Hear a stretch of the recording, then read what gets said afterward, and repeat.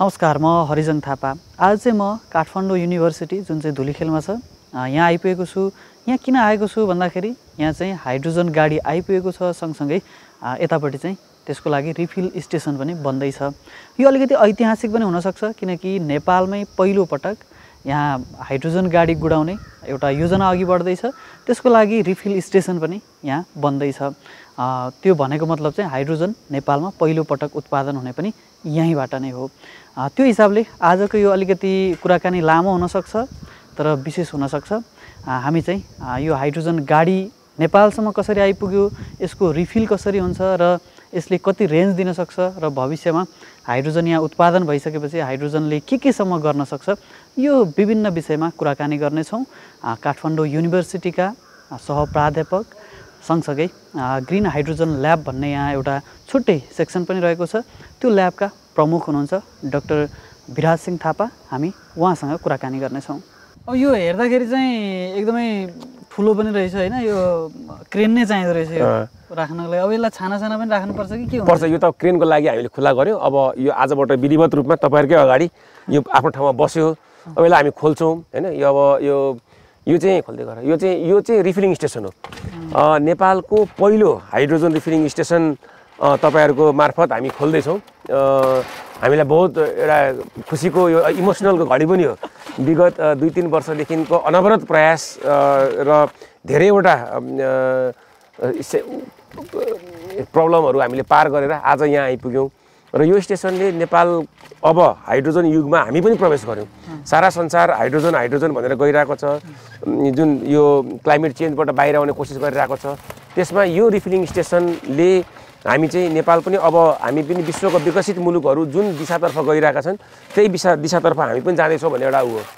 Petrol हाल्ने यो? हेर्न सक्नुहुन्छ यो हाइड्रोजन रिफिलिङ स्टेसनको नोजल हो यो। यो प- पहिलोपटक नेपालमा मेरो हातमा पर्यो यो। अब यसको विशेषताको बारेमा कुरा गरौँ सामान्यतः जसलाई पनि लाग्न सक्छ एउटा रिफिलिङ स्टेसन भनेको इन्धन भण्डारण गर्ने ठाउँ हो होइन? जसमा चाहिँ हामीले कहीँबाट इन्धन लिएर आउनुपर्छ होला र त्यो इन्धन राखेर अनि त्यो इन्धनलाई हामीले भण्डारण गर्नुपर्ने हुन्छ। तर त्यस्तो होइन।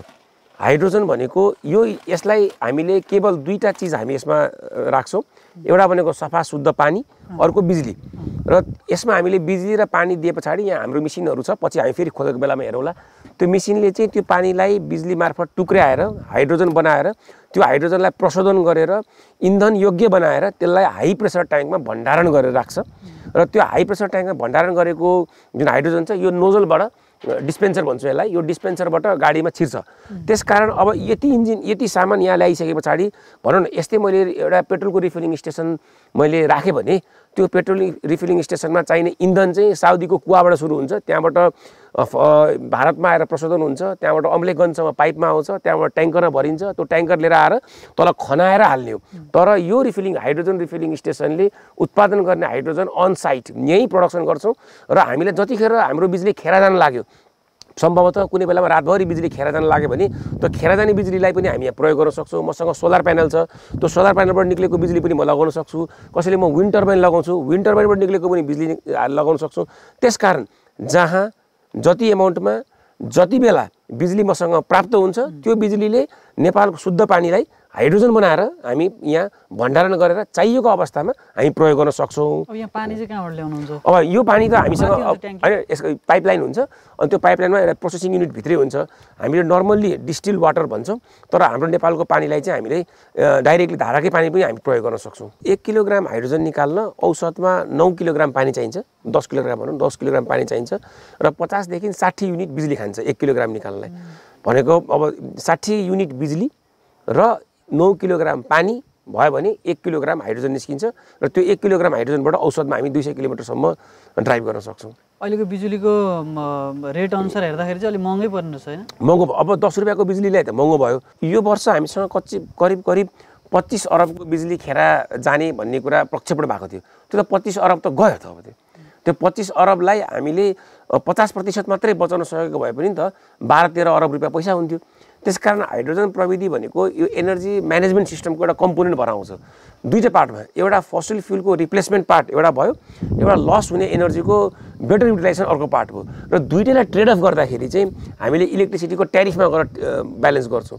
र आज पनि नेपालमा पाँच रुपियाँभन्दा कमको बिजुली चार रुपियाँको हाराहारीको बिजुली पाइयो भने सबै इफिसियन्सीलाई जोडेर पनि हामी कम्पिटेटिभ वेमा हाइड्रोजनलाई चाहिँ कमर्सियली प्रयोग गर्न सक्छौँ भन्ने हाम्रो रिसर्चले पनि देखाइसकेको छ। अब चार रुपियाँको चार रुपियाँमा बिजुली कसरी निकाल्ने कसरी दिने खेर जाने बिजुली मात्रै दिने कि अन टाइमको बिजुली दिने कि कसरी दिने यो नीतिगत कुराहरू होला। तर यदि कसैले चार रुपियाँमा बिजुली नेपालमा आज निकाल्छ चाहे त्यो सोलरबाट होस् चाहे त्यो हाइड्रोबाट होस् चाहे त्यो विन्डबाट अथवा अन्य मेथडबाट यस्तो डिभाइसबाट निक्लेको हाइड्रोजन चाहिँ कमर्सियल्ली फिजिबल छ। हामीले यसलाई हेर्दाखेरि त बाहिरबाट एउटा कभर गरेर कन्टेनरको रूपमा रहेछ। अब भित्र त सामान त छुट्टा छुट्टै नै छुट्टा छुट्टै रहेछ होइन? अहिले यो तपाईँहरूले राखेको त एक गाडीको लागि मात्रै त होला होइन? यो हामीसँग यसलाई चाहिँ यसो किलोवाटको सिस्टममा हुन्छ। हामीसँग पाँच किलोवाटको सिस्टम हो यो। यसले पाँच किलोवाट बिजुलीबाट हाइड्रोजन निकाल्छ यसले र स्टोरेज क्याप सबै क्यापेसिटी त्यही हो। कमर्सियलमा जानुभयो भने पचास किलोवाटबाट मात्रै सुरु हुन्छ। सो कमर्सियल स्केलभन्दा यो धेरै सानो भयो। पचासदेखि सय अब हेरिहेरिकन कुनै कुनै मेगावाट स्केलको पनि हुन्छ। तर मुख्यतः यो चाहिँ पाँच किलोवाट हो। हामीले हाम्रो मेन यसको वाटर प्युरिफिकेसन युनिट यहाँ छ होइन? हाइड्रोजन प्रडक्सन इलेक्ट्रोलाइजर युनिट त्यहाँ छ। त्यहाँबाट उतापट्टि यो ट्याङ्क छ यहाँनिर यो होइन त्यसमा चाहिँ स्टोर लो प्रेसर ट्याङ्क हुन्छ। जसमा चाहिँ एक हजार लिटर हाइड्रोजन हामी स्टोर गर्न सक्छौँ। एक हजार लिटर यसमा। यो चाहिँ लो प्रेसरमा हुन्छ। अनि यो एक हजार लिटरको ट्याङ्कबाट उतापट्टि पछाडिबाट पाइप देख्नु भएको छ। बिचमा एउटा कम्प्रेसर छ हाई प्रेसर कम्प्रेसर। त्यो कम्प्रेसर सिस्टमबाट मल्टी स्टेजमा पहिला लो प्रेसरबाट मिडियम मिडियमबाट हाई गरेर हामीले साढे तिन सय बारदेखि सात सय बारसम्म प्रेसर बिल्डअप गर्छौँ। अनि त्यस पछाडि गाडी हेरिकन कुनै गाडीमा साढे तिन सयको ट्याङ्क हुन्छ कुनै गाडीमा सात सयको ट्याङ्क हुन्छ। अनि त्यो ट्याङ्कमा रियल टाइममा यसमा चाहिँ हामी नर्मल्लीमा चाहिँ हाई प्रेसर नै कम्प्रेसन गरेर राख्न मिल्छ कमर्सियलमा तर यो रिसर्चको लागि हाई प्रेसरमा कम्प्रेसन गरेर राख्दाखेरि जोखिम हुने हुनाले हामीले लो प्रेसरमा ग्यास राख्छौँ। मेन सिस्टम यो हो। यस पछाडि अब हाम्रो यसलाई यहाँ यहाँ हाम्रो चाहिँ दुइटा चिज बस्छ। एउटा हामीसँग एउटा एयर एयर कम्प्रेसर हुन्छ। यहाँ यसलाई यसको हाई प्रेसर कम्प्रेसरलाई ड्राइभ गर्न एउटा एयर कम्प्रेसर चाहिन्छ। एयर कम्प्रेसर युनिट हुन्छ र यसको पावर म्यानेजमेन्ट सिस्टम हुन्छ। यसलाई चाहिने जुन करेन्ट भोल्टेज एकदम सेन्सिटिभ भएको हुनाले हामीले एउटा छुट्टै स्टेबलाइजर राख्नुपर्छ। हामीले एउटा स्टेबलाइजर र एयर कम्प्रेसन युनिट यहाँ हुन्छ अनि त्यस पछाडि सानो वाटर ट्याङ्क पनि हुन्छ। त्यति तिनवटा बाहिर भएपछि बाँकी सबै चिज भित्रै हुन्छ। र पछि हामीले कमर्सियल स्केलमा जानु पऱ्यो भने यसकै ठुलो स्वरूप मात्रै हो। यसमा ज जे जे इक्विपमेन्ट छ त्यही अलिक ठुलो हुन्छ र यो जुन हामी चाहिँ अब सानो भएकोले हजार ट्याङ्क लिटरको ट्याङ्क छ अब भोलि हामीले दस हजार बिस हजार लिटरको ट्याङ्क राख्नु पऱ्यो भने चाहिँ अन्डरग्राउन्ड ट्याङ्क हुन्छ। हाइड्रोजनको इफिसियन्सी चाहिँ ब्याट्रीभन्दा केही कम हुन्छ। ब्याट्रीको इफिसियन्सी अलिकति राम्रो तर स्टोरेज क्यापासिटी कम हुन्छ। र हाइड्रोजनको इफिसियन्सी अलिकति कम तर स्टोरेज क्यापासिटी बढ्ता हुन्छ। त्यो दुइटाको ट्रेडअप हो। कुनै जस्तै ठुल्ठुलो हेभी भेहिकलमा डिजेलै चाहियो। सानसानो गाडीमा पेट्रोलबाट चल्छ। भने जस्तै यो पनि आफ्नै यसको विशेषता छ। तर प्राविधिक रूपमा हाइड्रोजनको प्रविधि पनि भविष्यमा ब्याट्रीकै इफिसियन्सी पुग्न सक्छ भनेर रिसर्चहरूले देखाउँछ र इफिसियन्सीको डेभलपमेन्ट द्रुत गतिमा भएको छ। यति धेरै रिसर्च भएको छ। मैले पढाउँदै गर्दा हाइड्रोजन सुरु गर्दै गर्दाखेरि cycle efficiency electricity to electricity चाहिँ पैँसठी पर्सेन्ट मात्रै हो भन्ने थियो। अहिले बहत्तर पचहत्तरमा पुगेको छ। केही युनिभर्सिटीहरूले बयानब्बे पुऱ्यायो हामीले भनेर आएको छ। त्यही कारण पहिला त युनिभर्सिटीको ल्याबमा हुन्छ। त्यो बयानब्बे बिस्तारै बिस्तारै बिस्तारै आउँछ। तर अब यसको चाहिँ पचास प्रतिशतको हाराहारीमा छ हामीसँग। हामीले पहिला सु हामीले पनि दिनको दसवटा गाडीसम्म रिफिल गर्ने स्टेसनको डिजाइन हामी आफैले गऱ्यौँ। हाम्रो एउटा सपना धुलीखेल भित्र त्यस्तो एउटा रिफिलिङ स्टेसन राखेर काठमाडौँ धुलीखेलमा सम्भवतः केही बसहरू चलुन् भन्ने हाम्रो योजना थियो। तर त्यसको लागत खर्च हामीले त्यतिखेर अहिले त अलिक घट्यो होला साढे सात करोड जतिको देखिन आयो। पहिलो फर्स्ट भएको हुनाले किन सबै चिजहरू त्यहाँ नयाँ हुनाले साढे सात करोड देखियो। सुरुको लगानीलाई कतैबाट सब्सिडीमा लिएर आउन सक्यो। ग्रिन क्लाइमेट फन्ड छ। अहिले हामीसँग यति धेरै ग्रिन ग्रोथको फन्डिङहरू आएको छ होइन? हामीले कति फन्डिङहरू चाहिँ प्रयोग गर्न नसकेर फिर्ता गएको छ। क्लाइमेट फन्ड पनि एक अरबको फन्डमा वार्षिक रूपमा हामी पच्चिस करोड पनि खर्च गर्न सक्दैनौँ। भने त्यस्ता पैसाहरूलाई चाहिँ बास्केट फन्ड बनाएर कुनै माध्यमबाट हामीले हाइड्रोजन रिफिलिङ स्टेसनमा राख्न सक्यो भने यो त लस एन्ड ड्यामेज फन्डबाट गर्न सक्छौँ। हाम्रो वातावरण विनाश भयो भन्ने हिसाबमा त्यो विनाशको कम्पेन्सेसन फन्ड हामी कहाँ आउँछ? तर त्यो फन्ड हामीले युज गऱ्यो भने हाम्रो भयो। युज भएन भने हाम्रो हुँदैन। तर हामीले केमा खर्च गर्ने केमा खर्च गर्ने भन्ने अवस्थामा सरकारी तौरबाट पनि खर्च हुन सकेका छैन। त्यस्तो पैसाहरूबाट यो सुरु गर्ने हो। बाहिर पनि त्यसरी नै सुरु भएको हो। अब अहिले आएर मैले ब्याङ्कमा घर धितो राखेर पैसा निकालेर रिफिलिङ स्टेसन बनाएर हाइड्रोजनबाट गरी खाउँला भनेर चाहिँ हामी जानु हुँदैन। पहिला ब्याट्रीको इतिहास हेरौँ।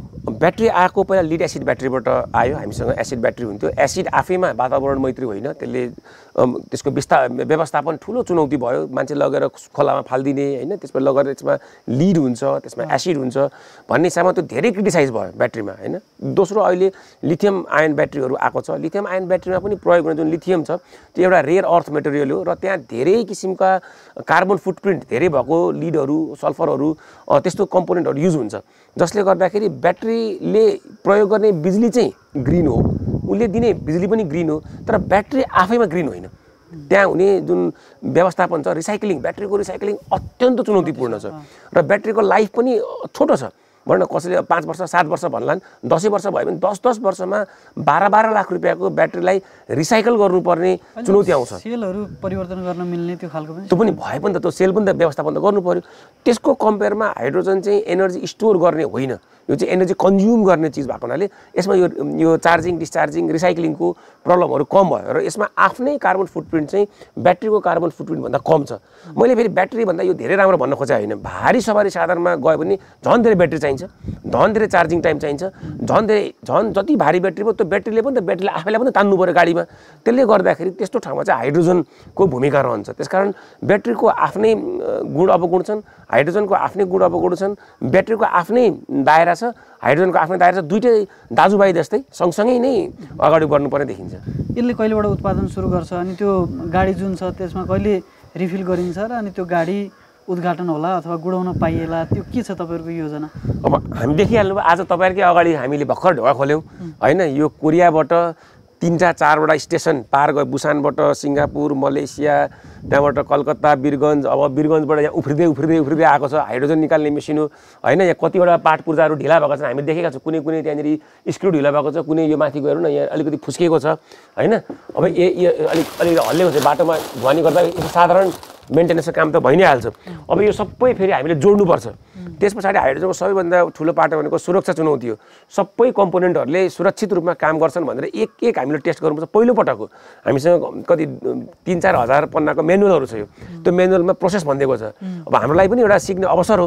सबै मेनुअलबाट चेक गरेर यो सबै पार्ट पार्ट चलाएर हाइड्रोजन उत्पादन गरेर अनि गाडी त ठिक छ। गाडीमा त लगेर हाल्दै भइगयो। तर हाल्नुभन्दा अगाडि यसको धेरै पाटाहरू छन्। यहाँ अलिकति केही काम अघि भने जस्तै पानीको अनि स्टेबलाइजरको कम्प्रेसन सिस्टमको पनि छ। पहिलोपटक भएको हुनाले हामीले हतार गरेर खतरा गर्नुभन्दा बरु सुरक्षित अलिक बिस्तारै आ- आइसक्यो त। होइन आए पछाडि त अब ढिलो आए पनि आइपुग्यो। अब यसलाई राम्रोसँग चलाउने हाम्रो आश। सम्भवतः एक महिनाभित्र हामी यसको सफल परीक्षण गर्न हामी कोसिस गर्छौँ। प्रधानमन्त्रीज्यूले हाइड्रोजन गाडी चढ्छु भन्दै हुनुहुन्थ्यो। अब त्यो सपना पुरा गरेर उद्घाटन गर्ने हो कि कस्तो छ? योजना केही छ? अब अहिलेसम्म त प्रधानमन्त्रीले चढ्छु भनेको गाडी यही हो भन्ने हाम्रो आकलन छ। प्रधानमन्त्री कार्यालयसँग पनि हाम्रो केही संवादहरू भएका छन्। उहाँहरूले पनि प्रधानमन्त्रीज्यूको अनुकूल कहिले मिल्छ कसरी मिल्छ हामी हेर्छौँ भन्नुभएको छ। तर हामीलाई भित्रबाट आत्मविश्वास छ यो राष्ट्र प्रमुखले नै यसको यसको अ, वहन गहन जिम्मेवारी लिएर ल म यसलाई चढ्छु र यसलाई सुरुवात गर्छु भन्ने लिनुहुन्छ। र उहाँले बोली पनि सक्नु भएको हुनाले सम्भवतः उहाँ आफै आएर हामी सबैजनाको अगाडि अलिक राम्रै समारोहको बिच यसलाई चढेर उद्घाटन गरिदिनुहुन्छ भन्ने हाम्रो आशा छ। यो ग्रिन हाइड्रोजन ल्याब हो। हामीले भर्खरै तिन चार दिन अगाडि मात्रै हाइड्रोजन कार नेपालको पहिलो हाइड्रोजन कार हामीले यहाँ लिएर आएको छौँ। र यसलाई हामी व्यावसायिक परीक्षण पनि गर्छौँ र यसलाई चाहिँ रोडमा पनि लाने एक तयारी हिसाबले इतिहास पनि त हो। अहिले हामीले जसरी पढ्छौँ पहिलोचोटि बिजुली उत्पादन भएको भनेर भोलिको दिनमा चाहिँ पहिलोपटक हाइड्रोजन उत्पादन कहाँ भएको थियो भनेर सोद्धाखेरि चाहिँ काठमाडौँ युनिभर्सिटीको प्राङ्गणमा भन्ने पनि एउटा इतिहास पनि बन्छ बन्छ। अवश्य बन्छ जाउँ गाडी हेर्दै जाउँ। भयो। यो चाहिँ भयो हाइड्रोजन गाडी। यो हाइड्रोजन गाडी हो। अब यो हेर्दाखेरि चाहिँ हाइड्रोजन गाडी भए पनि लगभग लगभग अहिले जस्तो गाडी गुडिरहेछ सडकमा। त्यस्तै नै गाडी छ त्यस्तै छ। यसको बाहिरी बनावट त्यस्तै छ। इलेक्ट्रिक गाडीमा मोटर भएको जस्तै यसमा चाहिँ पेट्रोल गाडीमा पेट्रोल इन्जिन भएको जस्तै यसमा चाहिँ हाइड्रोजन इन्जिन यो चाहिँ हाइड्रोजन इन्जिन छ जसको नाम चाहिँ फ्युल सेल भन्छौँ हामी यसलाई। र मुख्य मेन चिज चाहिँ यही हो इन्जिन चाहिँ। यसमा के हुन्छ भने यसमा चाहिँ हाइड्रोजन छिर्छ र त्यो हाइड्रोजनले चाहिँ यी बिजुली निकाल्छ। है हाइड्रोजनबाट बिजुली निक्लिन्छ र त्यो बिजुलीले मोटर घुम्छ। त्यसकारण इलेक्ट्रिक गाडी र यसमा एउटा फरक भनेको इलेक्ट्रिक गाडीमा चाहिँ बिजुली ब्याट्रीबाट आउने भयो होइन? ब्याट्रीमा बिजुली पहिले भण्डारण गरेर राख्ने अनि त्यो ब्याट्रीबाट भण्डारण भएको बिजुलीले मोटर कुद्ने भयो। यसमा चाहिँ हामी बिजुली भण्डारण होइन कि हाइड्रोजन राख्छौँ इन्धन जस्तै। हाइड्रोजन इन्धनको रूपमा राख्छौँ र त्यो हाइड्रोजन चाहिँ यो इन्जिनमा पेट्रोल इन्जिनमा पेट्रोल छिरेर जस्तै हाइड्रोजन यो इन्जिनमा छिरेपछि यसले गाडीभित्र बिजुली निकाल्छ। अनि त्यो बिजुलीले मोटर नै घुम्ने हो। त्यस कारण यो पनि एउटा इलेक्ट्रिक कार हो। तर फरक कहाँ भन्दाखेरि हाइड्रोजन चाहिँ हलुका हुने। हाइड्रोजनमा इन्धन जस्तै चाँडै भर्न मिल्ने र हाइड्रोजनमा चाहिँ ऊर्जाको भण्डारण क्षमता चाहिँ अत्याधिक एउटा नर्मल ब्याट्रीभन्दा तिन सय चार सय गुणा बढ्ता ऊर्जा भण्डारण हुन्छ। त्यस कारणले गर्दाखेरि यो चाहिँ लामो दुरीमा भारी सवारी साधनमा चाहिँ हाइड्रोजनको भूमिका धेरै अरू पनि अब यहाँ ब्याट्रीदेखि लिएर यो सबै कुराहरू त अर्को पनि चाहिँदो रहेछ चाहिन्छ चाहिन्छ। किनभने स्टार्ट गर्न चाहियो नि। यो त हाइड्रोजन त पहिला पहिला ब्याट्री हुन्छ। ब्याट्रीले इन्जिन स्टार्ट हुन्छ। त्यस पछाडि यसमा हाइड्रोजन छिर्छ। अनि हाइड्रोजन छिरे पछाडि अनि यसले आफ्नै इलेक्ट्रिसिटी निकाल्छ। तपाईँको एउटा पेट्रोल कारमा पनि त ब्याट्रीले पहिला इन्जिन स्टार्ट गर्ने ब्याट्री चाहियो। ब्याट्री सानो ब्याट्री प्याक हुन्छ। वेटको हिसाबले त्यो निकै वेट होला वेट हुन्छ वेट हुन्छ? वेट हुन्छ। यो फ्युल सेल। ठ्याक्कै त्यस कारण यसको बनावट यसको सबै कुरा चाहिँ एउटा एउटा पेट्रोल इन्जिन जस्तै भनौँ। भनेपछि अब यो गरुङ्गोको हिसाबले चाहिँ इभी भन्दा यो यो चिज अलिकति यसले लोड बढी बोक्नुपर्छ? पर्दैन किन? इभीमा त ब्याट्री नै धेरै गरुङ्गो भयो नि त। इभीमा त साठी सत्तरी केजीको त ब्याट्री नै हो कुनैमा त सय केजीसम्मको ब्याट्री हुन्छ होइन। इभीको ब्याट्री भयो जस्तो यसको ट्याङ्क चाहिँ फेरि अब थोरै नै हुने भयो नि त। छ किलोग्रामको ट्याङ्क हुन्छ। छ किलोग्राम यो गाडीमा छ किलोग्राम ट्याङ्क छ हामी इन्धन चाहिँ छ किलोग्राम इन्धन यसमा हाल्न सक्छौँ। यो अब हामी जसरी पेट्रो पेट्रोल गाडी पेट्रोल हाल्ने हुन्छ यसमा पनि त्यस्तै छ होइन? अनि यसलाई हामी यहाँ रिफिलिङ सिस्टम भन्छौँ र यसमा चाहिँ अलिक फरक छ। यहाँ लगेर ग्यासको सिलिन्डरको हो। किन हाइड्रोजन चाहिँ ग्यास हालिन्छ नि त? अर्को पेट्रोल चाहिँ लिक्विड भएको हुनाले माथिबाट हाल्ने भयो। यो चाहिँ ग्यास ट्याङ्की हुन्छ भित्र ट्याङ्की छ। ठ्याक्कै हाम्रो जुन एलपिजी ग्यास ट्याङ्की हुन्छ नि त्यस्तै एलपिजी ग्यास ट्याङ्की हुन्छ र त्यो ट्याङ्कीमा यहाँ लगेर नोजल लगेर हाले पछाडि हामी यसलाई रिफिल गर्छौँ। करिब करिब पाँच मिनटदेखि सात मिनटमा भर्ने नै हो फिजिकल्ली भर्ने हो अब यो रिक्सको हिसाबले कतिको रिक्सी हुन्छ अब त्यो हाइड्रोजन भनिसकेपछि त अलिकति चुनौतीपूर्ण पनि भयो होइन। त्यो हिसाबले चाहिँ अब यहाँ फ्युल हामीले रिफिल गर्दाखेरिको चुनौती चाहिँ के हुनसक्छ? अँ त्यहाँ पहिलो नर्वे जस्तो विकसित देशमा पनि अब त्यो यहाँ रिफिलिङको बेलामा चाहिँ यो जुन नोजल राम्रोसँग लागेन त्यहाँ बसेन भने हाइड्रोजन लिक हुनसक्छ। त्यो एउटा चुनौती छ। त्यही भएर यो चाहिँ हामीले अब धेरैवटा रिसर्च भ गरेर यसलाई चाहिँ एकदम स्पेसलाइज स्ट्यान्डर्डाइज गरेको छ। सबै गाडीमा एकै किसिमको नोजल सबै गाडीमा एकै किसिमको रिफिलिङ स्टेसन र एउटै सुरक्षा मापदण्ड राख्यो भने अनि त्यो समस्या रहेन। त्यस कारणले अब यो नोजलको डिजाइन यस्तो भएको छ कि यो सेल्फ लकिङ मेकानिजम यो डिटेक्सन मेकानिजम नोजलमा हुन्छ जसले गर्दा हन्ड्रेड पर्सेन्ट त्यो लक नभइकन ग्यास छिर्दैन र त्यहाँ लिकेज भयो भने इन्टरनल अलि पहिला पहिलाको सुरुमा आउँदाखेरि चाहिँ त्यो लिकेज डिटेक्सन हुँदैन थियो नोजलमा। अब अहिले आउनेमा चाहिँ नोजलको बाहिरपट्टि सेन्सरहरू हुन्छ जसले केही गरी हाइड्रोजन त्यहाँबाट लिक भएको कुनै कारणले भने त्यसले डिटेक्ट गरेर रिफिलिङलाई कट गरिदिन्छ। त्यस कारण त्यस्तो सुरक्षाको सिस्टमहरू चाहिँ अब धेरै नै डेभलप भएर आइसकेको छ। अब जस्तो यसको ट्याङ्कको कुरा गरौँ जस्तो अब बिजुली गाडीहरूको ब्याट्रीमा तलतिरपट्टि राखेको हुन्छ होइन ठोकिन्छ कि बिग्रिन्छ कि भन्ने खालको एउटा तनाव हुन्छ भनेदेखि पेट्रोल गाडीको पनि ट्याङ्की नै हुने भयो। अब यसको चाहिँ कतिको सुरक्षित हुन्छ यसको ट्याङ्क चाहिँ? यो त झन् एकदमै धेरै भयो होइन। यो यसको ट्याङ्क यसो तलपट्टि झुन्डिँदैन यसको पछाडिको जुन सिट छ त्यो पछाडिको सिटको मुनि हुन्छ यो ट्याङ्की होइन? यो यो यसमा युज हुने का ट्याङ्क चाहिँ कार्बन फाइबर भन्छौँ हामी। कार्बन फाइबर भनेको एकदमै रोबस्ट बलियो हुन्छ। र त्यो डिजाइन गर्दाखेरि पनि सबैभन्दा लास्टमा फोर्स लाग्ने ठाउँमा लगेर ट्याङ्की राखेको हुन्छ। लागिहाल्यो भने पनि त्यो फुट नफुट्ने तरिकाले डिजाइन भएको हुन्छ। फुट्ने अवस्था आयो भने यसलाई सिस्टमेटिकली लिक गर्न मिल्छ त्यो ट्याङ्कीलाई सिस्टमले आफैले एउटा सेफ्टी जसरी हामीले प्रेसर कुकरको सिटी के गरी खोजेर पछाडिपट्टि सानो एउटा भल्भ हुन्छ त्यो फुट्छ नि। त्यो फुटेर ठ्याक्क त्यो खाना पनि ठ्याक्क त्यो डन्डीबाट न नलाग्ने गरी त्यसले लिक गराएको यसको पनि लिक गर्ने मेकानिजम हुन्छ। जसले गर्दाखेरि यदि हाइड्रोजन पड्किने अवस्था आयो भने त्यसले आफै त्यो हाइड्रोजन लिक गर्छ। र राम्रो के छ भने हाइड्रोजन एकदमै हलुका भएको हुनाले र ग्यास भएको हुनाले यो फैलिँदैन। र यो लिक हुने बित्तिकै उडेर सबभन्दा माथि वातावरणको सबैभन्दा माथि पुग्छ जसले गर्दाखेरि एक्सिडेन्ट हुने चान्सहरू एकदमै कम हुन्छ यसमा। अब जस्तो अरू इभीहरूको यता पछाडिपट्टि इभी भनेर लेखेको हुन्छ यसको चाहिँ के लेखेको छ? यसमा त अब यो हामीले यहाँ यहाँ फ्युल सेल यहाँ यहाँ यहाँ फ्युल सेल। यो चाहिँ मेन इन्जिनको नाम हो फ्युल सेल भनेको जुन हाइड्रोजनबाट बिजुली निकाल्ने जुन इन्जिन छ त्यसको नाम फ्युल सेल हो। त्यस कारण यहाँ चाहिँ फ्युल सेल लेखेको हुन्छ। तपाईँहरूले यो गाडी ल्याउँदाखेरि यो नेक्सो नै किन ल्याउनु भयो होइन? धेरैवटा ब्रान्डको होला नि तपाईँहरूले रिसर्च पनि गर्नुभयो होला होइन? यही ल्याउनुको कारण चाहिँ के हो? सबैभन्दा पहिला त खर्चबाट भनौँ किनभने हामीसँग सीमित पुँजी थियो। विश्वविद्यालयलाई रिसर्च गर्न दिएको सीमित पैसा थियो।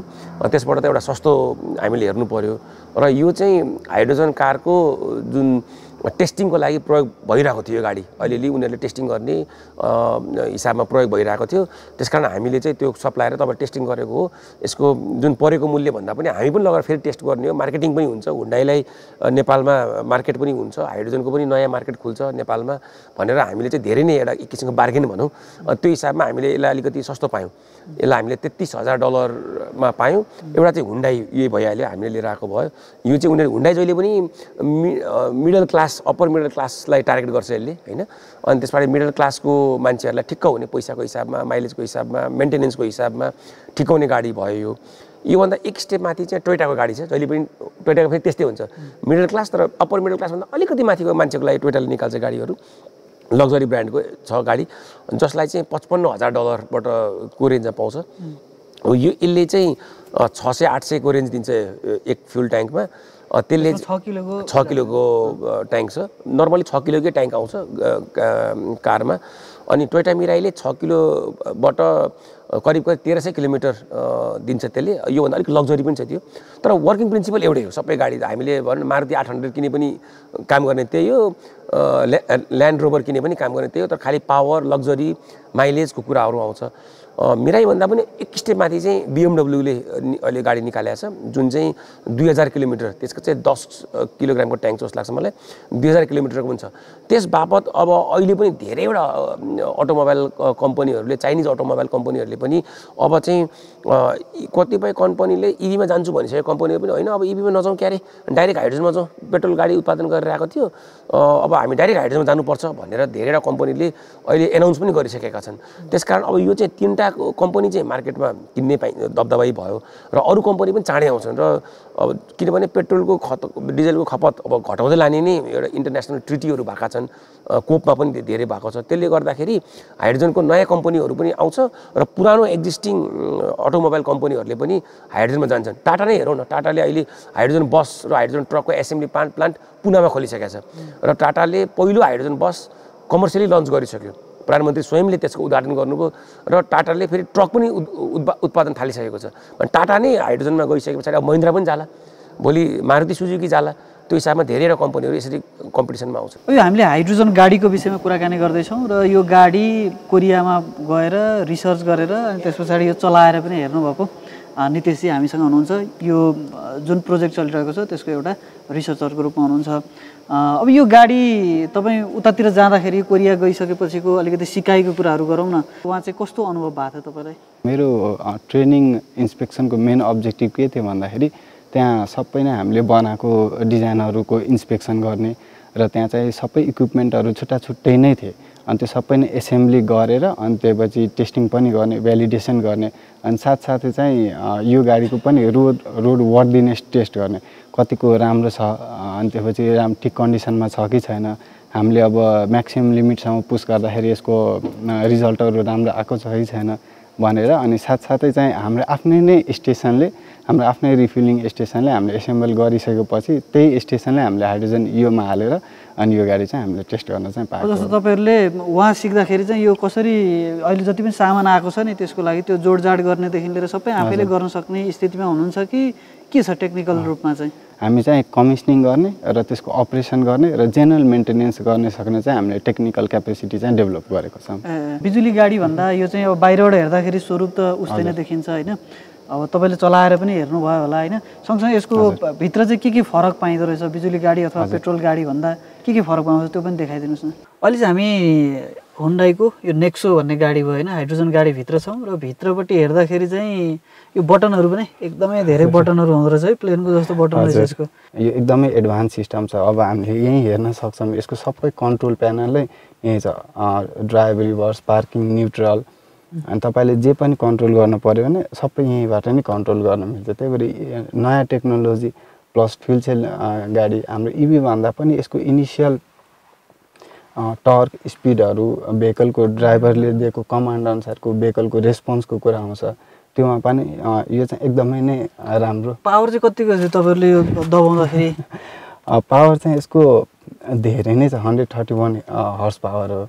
भनेपछि त्यो भनेको हामीले चाहिँ नर्मली युज गर्दाखेरि हामीले पहिला जुन इभी कन्भर्जर इभी कन्भर्जन गऱ्यौँ त्योमा चाहिँ हामीले छ किलोवाटको युज गरेको। र यो चाहिँ hundred and thirty one kilowatt हो। त्योमा चाहिँ नाइन्टी फाइभ किलोवाट चाहिँ हाम्रो फ्युल सेलले प्रोभाइड गर्ने भयो। त्योमा चाहिँ तपाईँको कस्तो हुन्छ भन्दाखेरि पाँचदेखि दस मिनटसम्म चलाएपछि फ्युल सेलले आफ्नो अप्टिमम टेम्परेचर गेन गर्छ। अपरेटिङ टेम्परेचर भन्छ त्यसलाई। अनि त्योमा गएपछि उसले आफ्नो चाहिँ फुल क्यापेसिटीमा चाहिँ रन हुन थाल्छ। अब यो यसले चाहिँ कति जति रेन्ज दिएको थियो तपाईँहरूले चलाउँदाखेरि कस्तो थियो? यो भरि तपाईँहरूले फ्युल हाल्दाखेरि?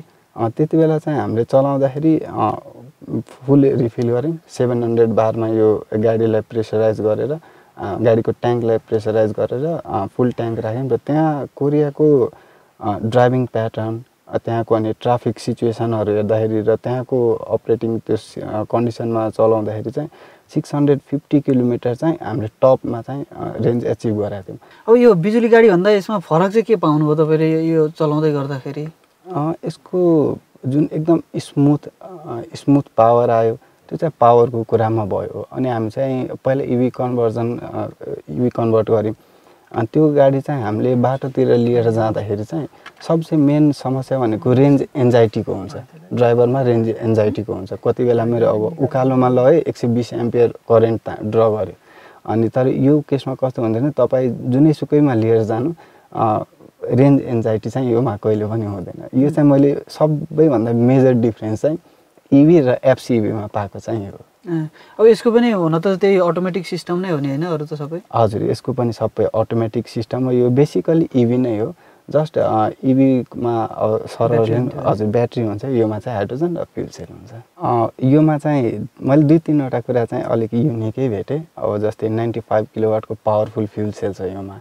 अनि यसको ड्राइभिङ रेन्ज पनि सिक्स हन्ड्रेड किलोमिटर प्लसै छ। अनि अर्को चाहिँ एग्रोनोमिक्सको कुरा गर्दाखेरि अब कम्फर्टकोले गर्दाखेरि यो गाडी पनि राम्रो अनि अरू जुन अटोमेटिक पार्किङको सिस्टम अनि त्यसपछि तपाईँ एकदम कन्जस्टेड ठाउँमा पार्क गर्नुभएको छ अनि त्यहाँबाट गाडी निकाल्नु पऱ्यो भने तपाईँले अब आफ्नो किरिङबाटै गाडी बोलाउनु मिल्छ। तपाईँ भित्र गाडीमा बसेर चलाउन नै पर्दैन। आफै आउँछ। हजुर गाडीलाई आफै बोलाउन नै मिल्छ। यस्तो कुराहरू फिचरहरू एडभान्स फिचरहरू भनौँ। त्यसले चाहिँ कसरी लगेर पार्क गराएको छ त्यही आधारमा ब्याक गर्ने अथवा त्यस्तो खालको सिस्टम हजुर यसमा कस्तो हुन्छ भने यो अपरेटिङ सिस्टममा चाहिँ मेमोरी स्टोर गरेर राख्छ जुन पाथमा हजुरले पार्क गर्नुभएको छ त्यही पाथमा चाहिँ रिटर्न ब्याक पनि गाडीलाई बोलाउनु मिल्छ। त्यो बिएमडब्लुको हामीले एउटा गर्दाखेरि त्यो खालको देखेका थियौँ। अब भ्यू भनेर चाहिँ क्यामेराहरू अगाडिपट्टिको सबै यहाँ देखिन्छ। हजुर हजुर। तपाईँले रिभर्स गर्नुभयो भने सबै डाइरेक्सन दिने त्यस्तो चाहिँ सबै नै छ सिस्टमहरू यसको काम चाहिँ के हो? अँ, यो चाहिँ हाम्रो नेपालमा आइसकेको छैन तर नेपाल सरकारले पनि यो चाहिँ हाम्रो लागु गर्नै पर्ने इक्विपमेन्ट चाहिँ म चाहिँ देख्छु। किन भन्दाखेरि अँ, हामी चलाइ नै रहन्छौँ झ्याप्पै कुनै एक्सिडेन्ट भयो भने। अब एभि- एभिडेन्स चाहिन्छ। त्यही भएर यो कोरियामा चाहिँ मैले एक्सपिरियन्स गरेको हरेक गाडीमा यो कम्पलसरी नै हुन्छ ड्यास क्याम पहिलो रूपमा भित्रिएको छैन हाइड्रोजनको हिसाबले। अब नेपालको कानुनले अब इभीहरूलाई त चिन्छ होइन। य- यसलाई त त्यति धेरै चिन्दा पनि चिन्दैन। अब बाहिरको रोडहरूमा कुन कुन देशमा चाहिँ यसले मजासँगले गुड्न पाउँछ? यहाँ नेपालमा चाहिँ के केले रोकिरहेको छ? अब सबैभन्दा बाहिर सबैभन्दा नजिक जाउँ भारत भारतमा आज तपाईँले आफैले टिकट काटेर हाइड्रोजन बस चढ्न सक्नुहुन्छ। अब भारतको रोडले भारतको कानुनले भारतको व्यवसायीले त्यसलाई चिनेर प्रयोगमा ल्याइरहेका छन्। भारतका मन्त्रीहरू व्यवसायीहरू हाइड्रोजन कार आफै हाँकेर अफिस जानुहुन्छ सबभन्दा छिमेकी देश होइन? त्योभन्दा अलिक पर जानुभयो भने कोरिया जापानमा त तेस्रो जेनेरेसन यो सेकेन्ड जेनेरेसन कार हो। होइन सेकेन्ड जेनेरेसन उनीहरू थर्ड जेनेरेसनमा गइसक्यो। लेटेस्ट आइसक्यो। आइसक्यो रेन्ज छ। यो सेकेन्ड जेनेरेसन हो। थर्ड जेनेरेसन आइसक्यो। भारतमा भर्खर फर्स्ट जेनेरेसनमा सुरु हुँदैछ। र अब कोरिया जापानतिर जानुभयो भयो भने त्यहाँ ट्रकहरू हजार किलोमिटर चल्ने ट्रकहरू रोडमा गुडिरहेको देख्नुहुन्छ। अझ पर जानुभयो अस्ट्रेलिया अथवा युरोपमा जानुभयो भने हाइड्रोजनबाट चल्ने ट्रेनहरू त्यहाँ पाउँछ टिकट काटेर हाइड्रोजन ट्रेन चढ्नुहुन्छ। हामी आफै पनि जापान गएको बेलामा हामी हाइड्रोजनको हेर्न जाँदाखेरि त्यहाँ बसमा चढ्न पाइयो। हाइड्रोजन बस मजाले आउँछ स्टेसनमा छिर्छ ढोका खुल्छ आफू चढ्यो हाइड्रोजन बसमा चढ्यो। हाम्रो विद्यार्थीहरू बाहिर विदेशमा पढ्न जाँदा पनि हामीलाई सर ऱ्यान्डमली बस चढेको हाइड्रोजन परेछ सर भनेर लाइभ भिडियो पठाएको देख्छौँ। त्यसकारण यो चाहिँ यसको संस्थागत प्रयोग चाहिँ विदेशमा एकदमै द्रुत गतिमा भयो हुँदैछ। तर नेपालको परिप्रेक्ष्यमा भन्नुहुन्छ भने नेपालमा अहिले यो यहाँ यो खाली रहेको छ किनभने यो त अब उता कोरियामा को नम्बर प्लेट थियो। अब यहाँ चाहिँ यहाँ नम्बर प्लेट दिने व्यवस्था छैन नेपालमा होइन। र यो जुन हाइड्रोजन हाल्यो नि ट्याङ्कीमा त्यो ट्याङ्कीमा हाइड्रोजन कमर्सियल फ्युल भनेर हाल्नको लागि पाइँदैन।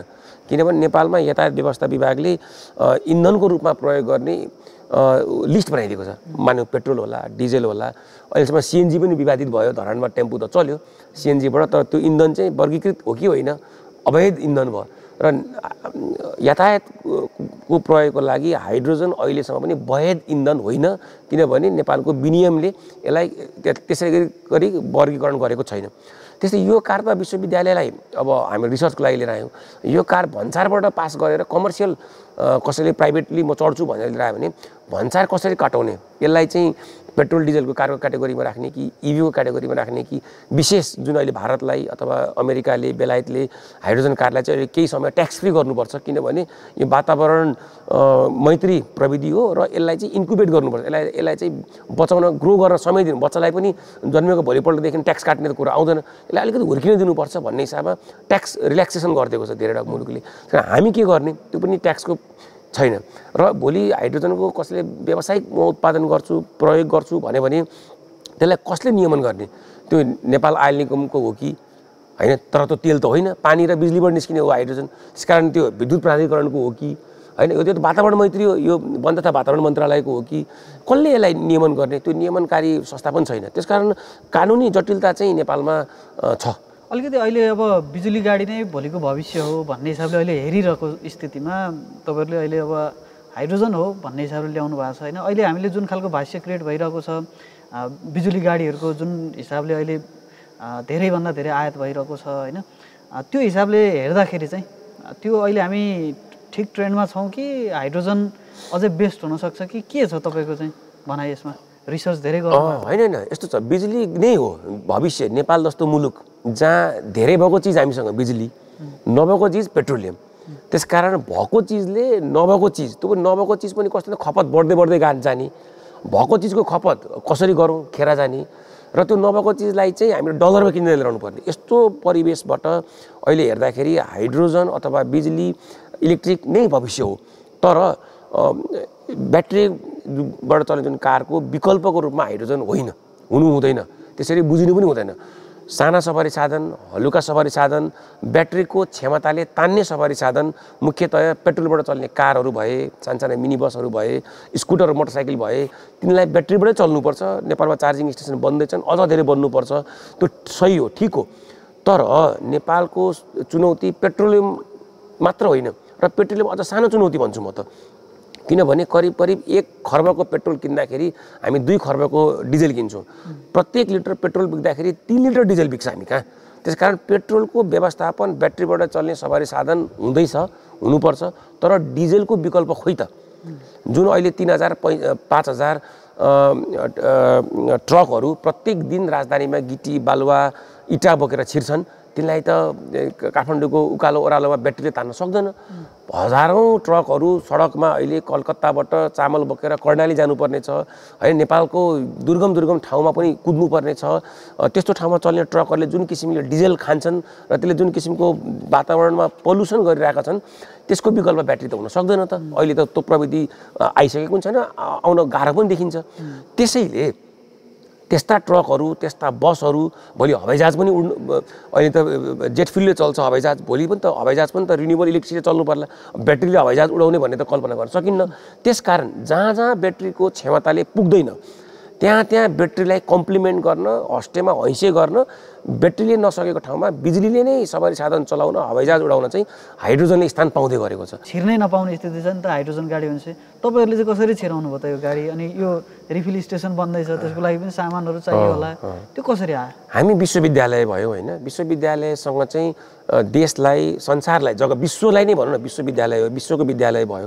त्यहाँ चाहिँ नवीनतम प्रविधिको हामीले विकास गर्नको लागि जसलाई अनुसन्धान गर्नको लागि हामीलाई विश्वबाटै बढेकै कुनै पनि चिजमा हामीले सामान लिएर आएर अनुसन्धान गर्ने हामीसँग संवैधानिक हक छ। हामीले नेपालको संविधानले नै पनि सर्टेन व्यवस्था गरिदिएको छ कि हामीलाई विश्वविद्यालयको आन्तरिक रिसर्च गर्न नवीनतम प्रयोग गर्न र देशको हितको लागि भविष्यमा चाहिने प्रविधिको विकास गर्नको लागि चाहिँ हामीलाई सामान आयात गरेर हामीलाई अनुसन्धान गर्ने हामीलाई अधिकार छ। त्यही अधिकारको प्रयोग गरेर हामीले नेपाल सरकारलाई हामीले हारगुहार गरेर ल यो यो अधिकारबाट हामी वञ्चित हुनु हुँदैन नेपालमा भोलि कमर्सियली कसरी लिएर आउने त्यो कानुनी पाटाहरू कानुनी हिसाबमा व्यवस्थाहरू हुँदै जालान्। तर हामीले देशमा पनि त कुनै प्राविधिक विकास त गर्नु पऱ्यो हजुरहरू देश त देखाउनु पऱ्यो कसरी चल्छ यो कसरी गुड्छ यसको प्रविधिहरू कस्ता छन् चुनौती के छन् भनेर अनुसन्धान गर्नको लागि हामीलाई त्यो चाहियो भन्दाखेरि हामीलाई पत्रमा नै नेपालको संविधानलाई टेकेर हामीलाई अधिकार यो यो भित्रिन पाएको। त्यसकारण यो चाहिँ नेपालको कानुनले नेपालको नियमले भन्दा पनि विश्वविद्यालयलाई संविधानले दिएको एउटा हक अनुसन्धान गर्ने हक त्यसलाई नै हामीले किटान गरेर यो लिएर आएको झट्ट हेर्दाखेरि त के देखिन्छ भने तपाईँहरूले अब बनी बनाऊ गाडी लिएर आउनुभयो सबै कुरा रेडी भएको रिफिल स्टेसन लिएर आउनुभयो। त्यो भएपछि त रिसर्च त के हो त भन्ने एउटा प्रश्न हुनसक्छ। त्यसको चाहिँ के छ तपाईँसँग जवाब वास्तवमा हामीले यो गाडी किन्न खोजेको होइन। हामीले हाम्रो प्लान चाहिँ अर्कै थियो। हामीले हाम्रो रिसर्च सुरु गर्दाखेरि एउटा पेट्रोलबाट चल्ने गाडीलाई हामीले पहिला इलेक्ट्रिक गाडीमा कन्भर्ट गऱ्यौँ। यहीँ छ त्यो गाडी होइन? तर बिजुलीको गाडीमा कन्भर्ट भइसके पछाडि अब बिजुलीको ब्याट्री जुन छ त्यो ब्याट्रीको ठाउँमा हाइड्रोजन ट्याङ्क र एउटा फ्युल सेल राख्ने कुरा भयो। त्यो धेरै गाह्रो कुरा भएन। र त्यसलाई चाहिँ हामीले यही गाडीलाई हाइड्रोजन गाडीमा कन्भर्ट गर्ने हो र यसको कम्प्लिट डिजाइन हामीले गऱ्यौँ। हामीलाई थाहा छ एउटा एउटा नर्मल गाडीमा हाइड्रोजनको फ्युल सेलको क्यालकुलेसन कसरी गर्ने ट्याङ्कको क्यालकुलेसन कसरी गर्ने पावर ट्रेनको क्यालकुलेसन कसरी गर्ने जुन पाइपको डिजाइन कसरी गर्ने सबै डिजाइन भयो। तर हामीले त्यो पार्ट पूर्जाहरू किन्न खोज्दाखेरि चाहिँ त्यो किन सेपरेट पार्टहरू किन हाम्रो डिजाइन भयो त्यो हाम्रो डिजाइनमा अरूले म्यानुफ्याक्चरिङ गरेर दिनुपर्ने भयो त्यो फ्युल सेल दिनु पऱ्यो ट्याङ्क दिनु पऱ्यो त्यो यति महँगो भएर आयो कि अनि सेफ्टी पनि नमिल्ने भयो। किन एउटा कम्पनीबाट फ्युल सेल आउँछ अर्कोबाट ट्याङ्क आउँछ अर्कोबाट के आउँछ त्यो सबै जोड्दाखेरि समय पनि धेरै लाग्ने सुरक्षा चुनौती पनि हुने र महँगो पनि हुने भयो। त्यस कारण हामीले के सोच्यौँ भने अब हामी हामीले रिसर्च गर्न त आयो सिक्यौँ बुझ्यौँ। त्यस कारण त्यति अलिकति लामो बाटो जानुभन्दा गाडी चाहिँ कमर्सियली लिएर आउँ किन भविष्यमा भोलि गाडी कमर्सियली लिएर आउने हो। तर जुन रिफिलिङ यसलाई गाडीमा हाल्ने जुन हाइड्रोजन हाल्ने रिफिलिङ स्टेसन छ त्यो स्टेसन हामी आफैले डिजाइन गरायो हाम्रै विद्यार्थीले डिजाइन गरेको हो। अनि त्यो डिजाइनमा हामी धेरै कुरा सिक्यौँ। कसरी बनाउने वाटरको प्युरिफिकेसनदेखि लिएर त्यस पछाडि hydrogen production storage high pressure system compression system dispensing system सबैको डिजाइन हामीले गरेर अनि त्यो डिजाइन चाहिँ हामीले पहिला कहाँ म्यानुफ्याक्चर गर्छौँ पहिला चाइना हेरौँ चाइनामा पनि धेरै हामीले त्यतिको त्यो लेभलको हाम्रो लेभलको डिजाइन महँगो हुने अथवा अलिक कम्प्लेक्स हुने भएको हुनाले हामीले कोरिया कन्ट्याक्ट गऱ्यौँ। अनि कोरियाले चाहिँ ल हामी यस्तो बनाउनु त बनाएको अब हाम्रो डिजाइन तिमीहरूलाई लगे पनि हुन्छ भन्दा होइन हामीले पनि तपाईँले भने जस्तै हाम्रो आफूले के गऱ्यौँ त? भन्ने कुरा भयो भन्ने हिसाबमा त्यो रिफिलिङ स्टेसन चाहिँ हाम्रो डिजाइनको बनाउनुपर्छ भनेर हाम्रो रिसर्च इन्जिनियर एक महिना कोरिया बसेर हाम्रो डिजाइनको हिसाबमा त्यो सामानहरू इन्टरनेसनल मार्केटबाट कुनै पाट पूर्जा अमेरिकाबाट आयो कुनै पाट चाइनाबाट पनि आएको छ कुनै जापानबाट कुनै कोरियाबाट सबै भेला गरेर त्यो हामीले रिफिलिङ स्टेसन हाम्रो डिजाइनको बनाएर अनि लिएर आएको छ। त्यस कारण यो कार र रिफिलिङ स्टेसन दुइटै सँगसँगै आए रिफिलिङ स्टेसनलाई फेरि हामी त्यसलाई चेक गर्दैछौँ। त्यो चेक गरेर अनि यही काठमाडौँ युनिभर्सिटीकै प्राङ्गणमा नेपालको पहिलो रिफिलिङ स्टेसन हामी उद्घाटन गरेर त्यसबाट निस्केको हाइड्रोजन यहाँ हालेर अनि यसलाई दौडाउँछौँ। नीतिगत रूपमा चाहिँ के के सुधारको आवश्यकता छ? यस्तो खालको गाडी सडकमा गुड्नको लागि अहिले जसरी बिजुली गाडी गुडिरहेको छ अथवा पेट्रोल गाडी गुडिरहेको छ निर्वाध रूपमा हिँड्नको लागि चाहिँ के के नीतिगत रूपमा के को जरुरी छ? त्यो बाहेक त यो फ्युल स्टेसनहरू पनि त टन्नै चाहियो होला होइन? त्यो हिसाबले चाहिँ के के गर्न जरुरी छ? पूर्वाधारको हिसाबले एउटा एउटा नीतिगत रूपमा चाहिँ? मलाई मेरो विचारमा पूर्वाधार भन्दा पनि नीतिगत हो।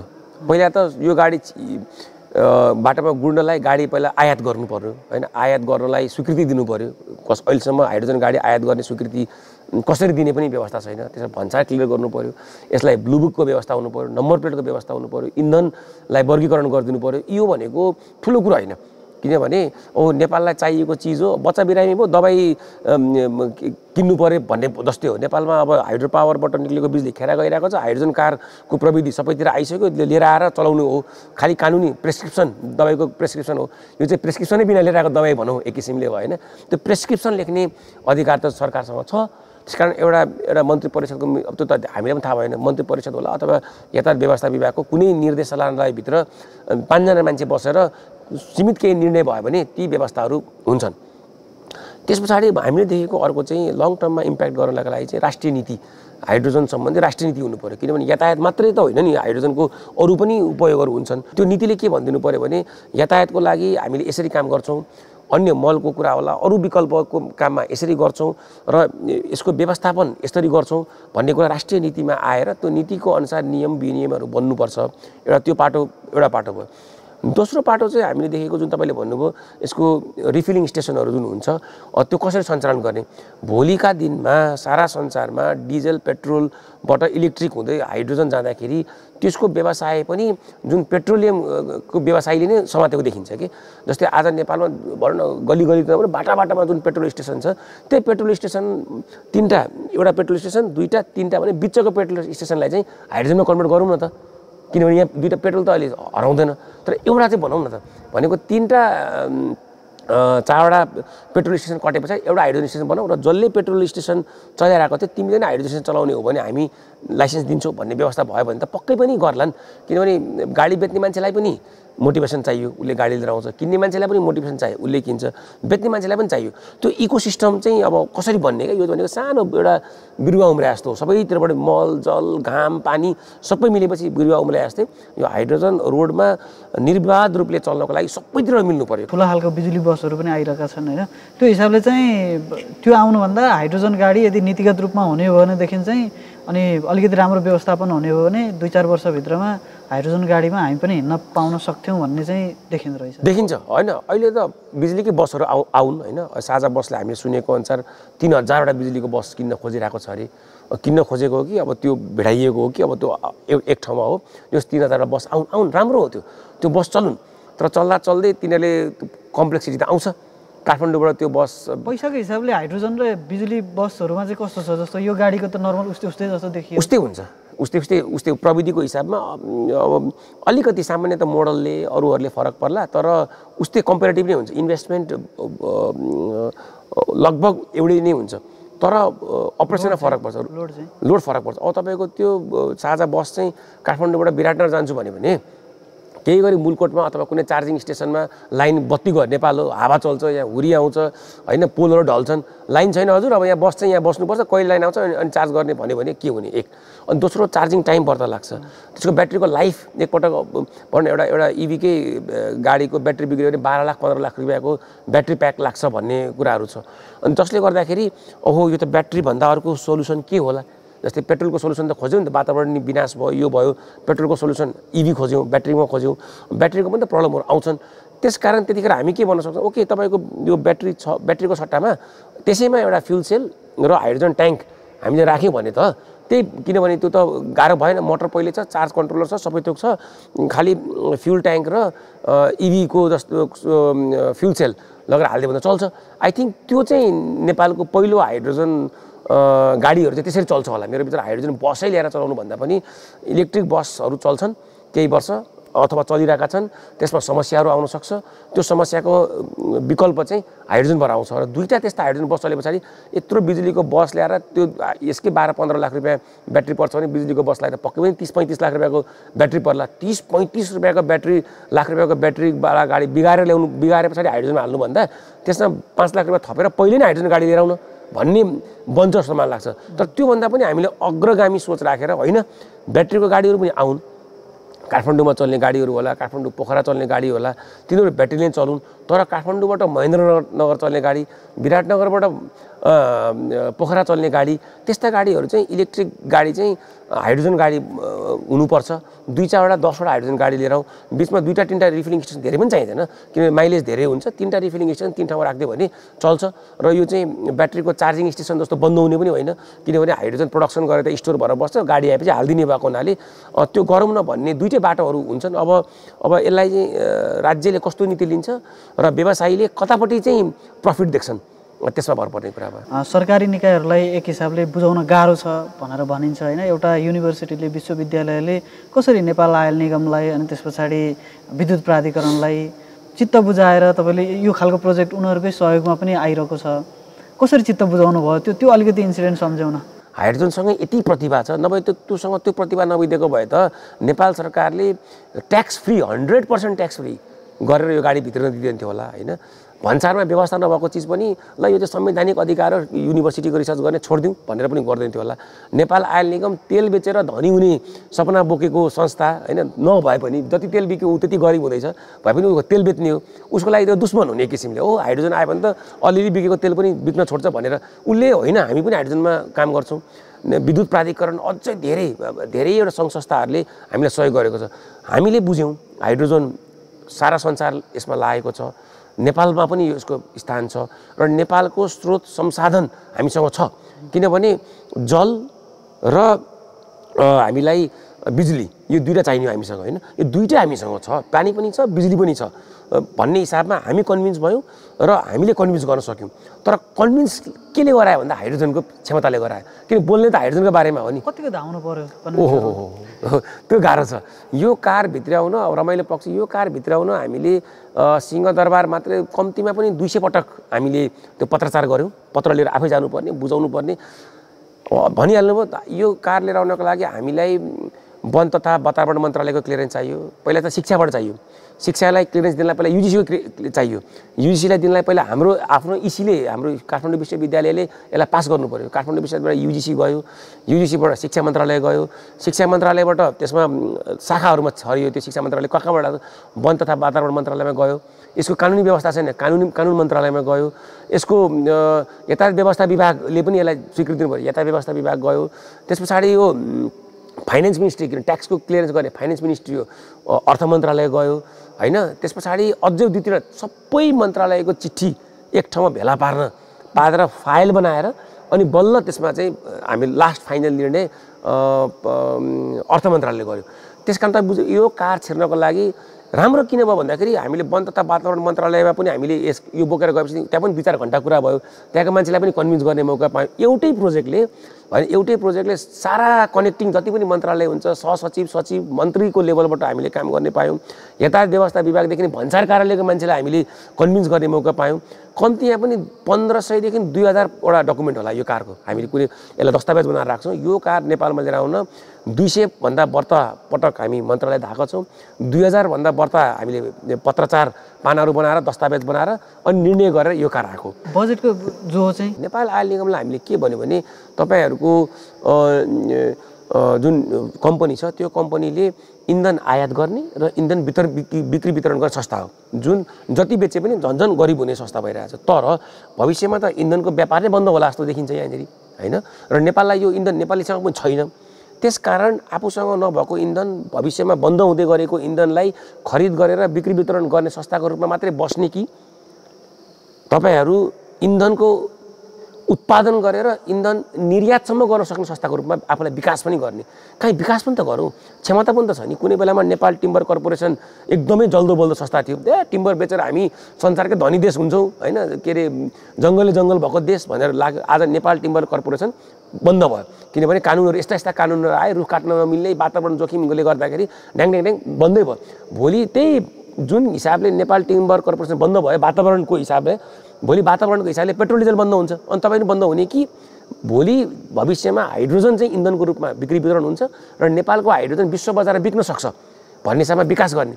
त्यसको संस्थागत विकास हामी गर्न सक्छौँ। नेपालमा त्यसको नलेज टेक्नोलोजीको हामी संरक्षण गर्छौँ।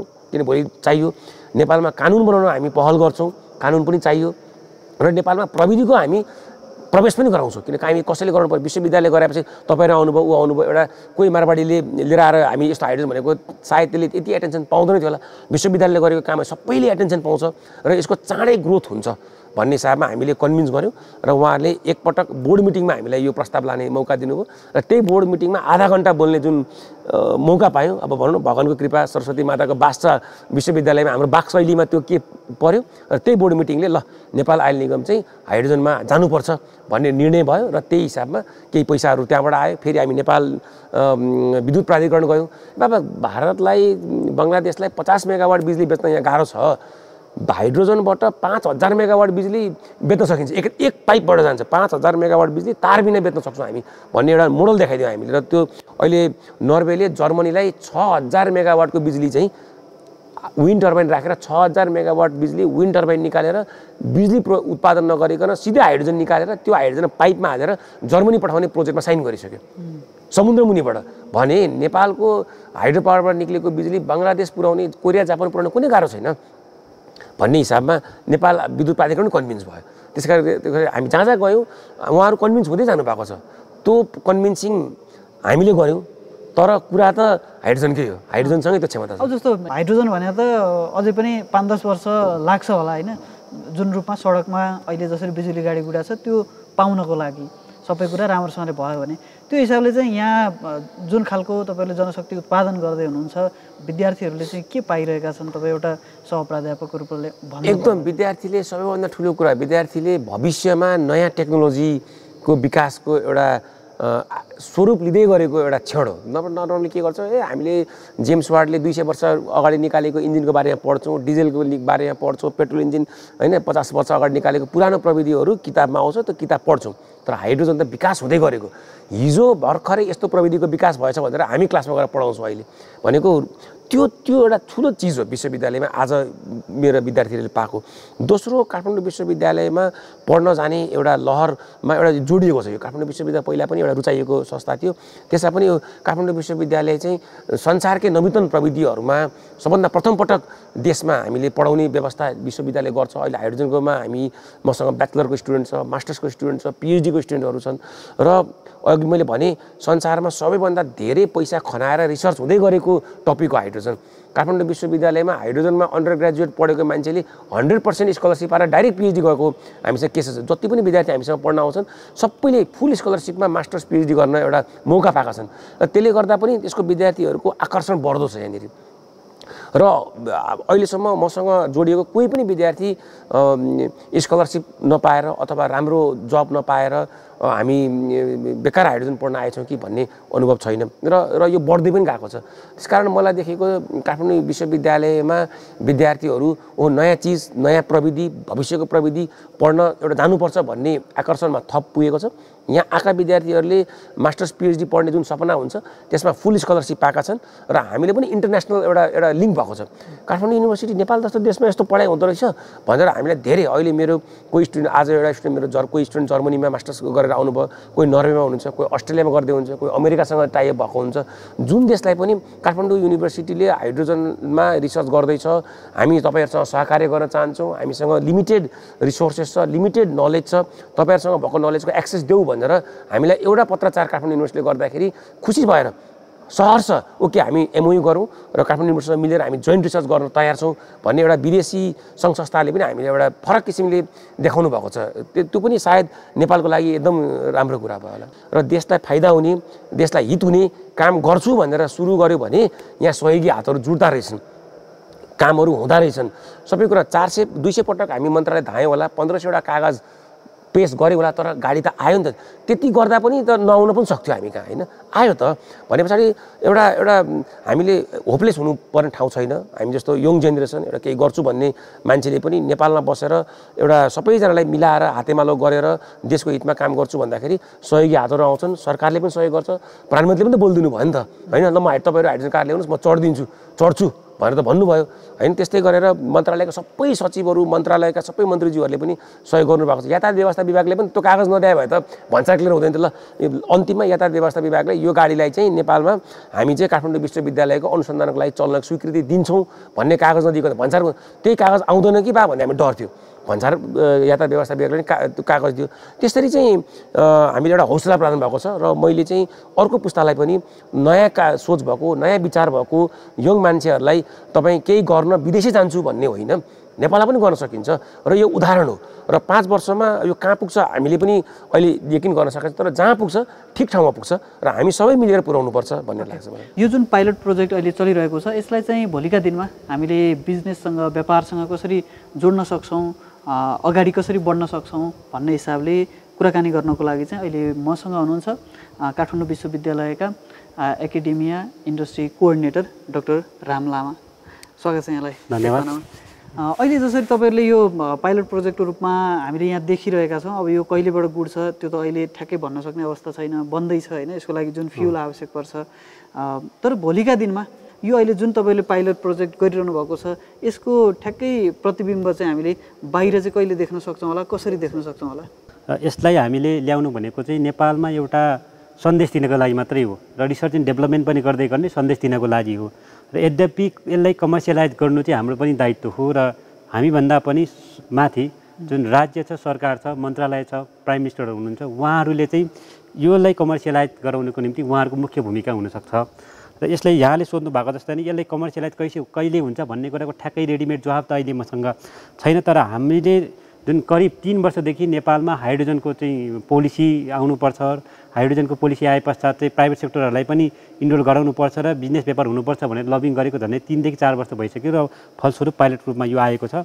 र यसलाई कमर्सियलाइज गराउनुको निम्ति सबैभन्दा महत्त्वपूर्ण कुरा भनेको यसको पोलिसी आइदिनुपर्छ जब पोलिसी आइदिन्छ तब के हुन्छ भन्दाखेरि चाहिँ विभिन्न फरेन इन्ट इन्टरनेसनल इन्भेस्टरहरूलाई पनि बाटो खुल्छ नेपालको इन्भेस्टरहरूलाई पनि बाटो खुल्छ र जसले गर्दाखेरि यसले कमर्सियलाइज रूपमा चाहिँ लान सजिलो हुन्छ।